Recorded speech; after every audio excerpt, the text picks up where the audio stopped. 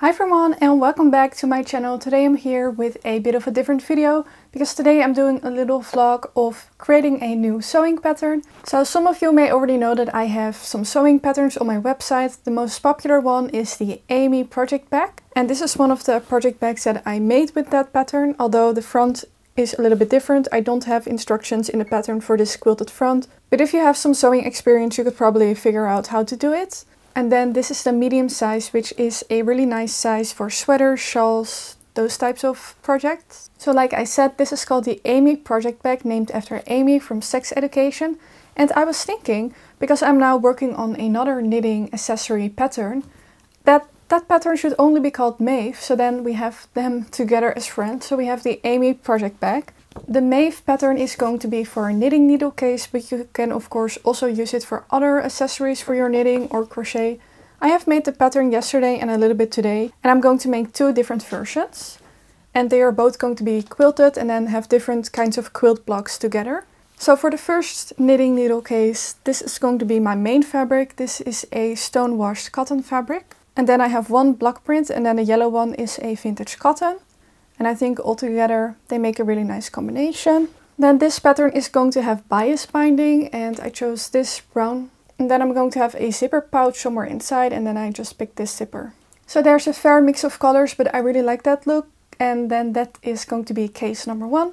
Then I'm going to be using my favorite type of fiber fill, which is a fusible type of fiber fill. And it's called Vlieseline H640. And like I said, it's fusible, so you have one side that looks like this kind of has a dot texture and then the other side that just looks like regular interfacing.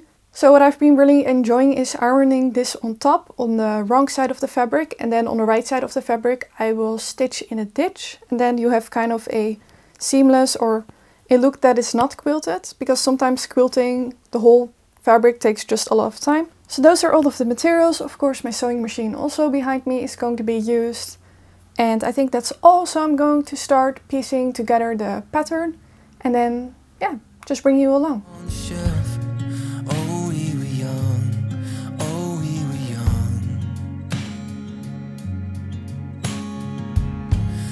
ten years have passed and we're still locked in time. I don't take for granted the years that go by. Started with a gaze,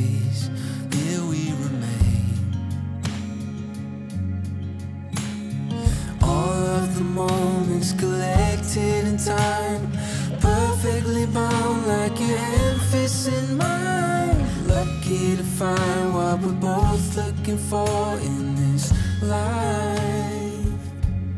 My heart is aching But somehow in all the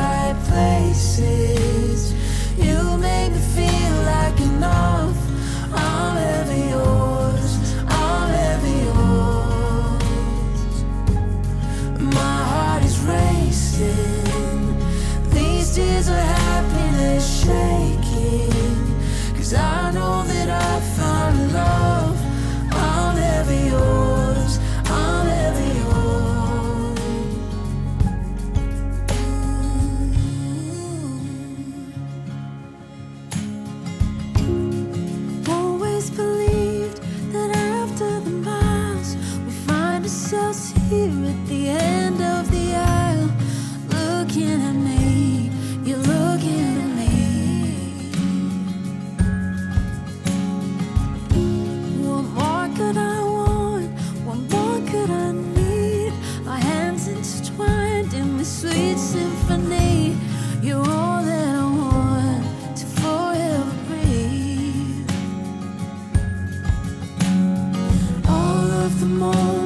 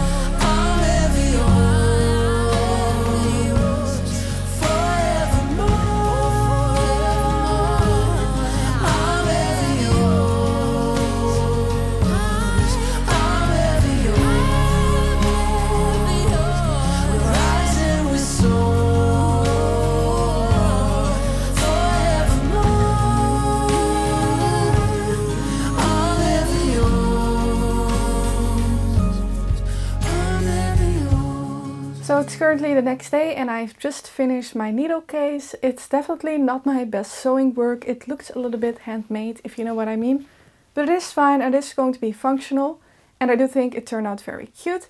I only made one because the quilting actually took a very long time. I will open it up so you can see. So it consists of six different quilt blocks and this one, the star, it's very cute, but it's extremely time consuming, so I don't think I'm going to keep it in my pattern. Also because it's not very beginner friendly sewing wise. I also had quite a difficult time making it.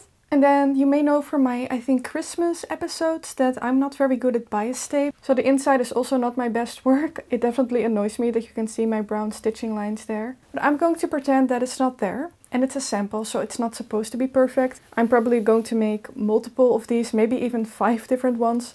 I'm also thinking that I want to do two different sizes, so this is probably going to be the small size. I'm going to have a bigger size. I really like the zipper pouch that I put in here, so you can open it up like this. And of course I added a little tassel. And then I added a little hook in the corner, which I thought would be nice to put some notions on or something else that you want to put there. We'll see how useful it is. It's also the pro of a sample that I can now use it, see what I like, see what I don't like, and then really perfect the pattern.